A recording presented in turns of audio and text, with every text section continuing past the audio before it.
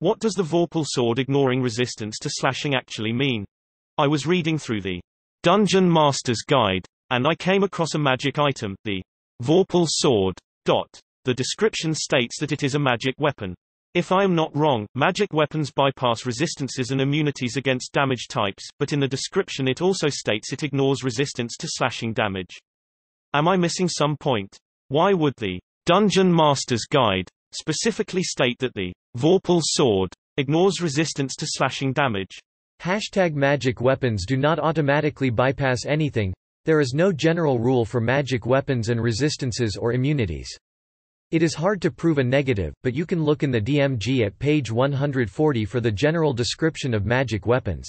What is at play here is that many creatures have a resistance and sometimes immunity. Specifically, to non-magical attacks. This is explicitly stated in their stat block however, and there are cases that are just resistant to a damage type overall, magic or not e.g. swarms, starting on M337, or raging barbarians. Thus the additional ability of the Vorpal sword is not superfluous, as it makes the weapon more effective against creatures that have resistance against slashing damage from all sources.